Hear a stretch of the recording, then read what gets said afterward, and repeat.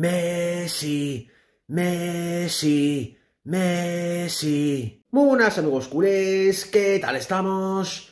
Leo Messi jugó ayer su penúltimo partido con el PSG fuera de casa. El astro argentino está a dos partidos de finalizar su contrato con el club de la capital francesa, ya que, ya que con total seguridad abandonará París en junio. Y pese a que todavía nadie sabe con certeza dónde jugará Leo la próxima temporada, el entorno de Messi dio pistas casi definitivas referente a su futuro inmediato.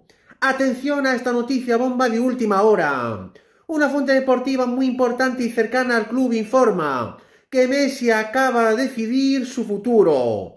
El astro argentino firmará su contrato con su nuevo equipo la próxima semana hasta el 2025. Han sido clave en la toma de su decisión sus hijos y familia.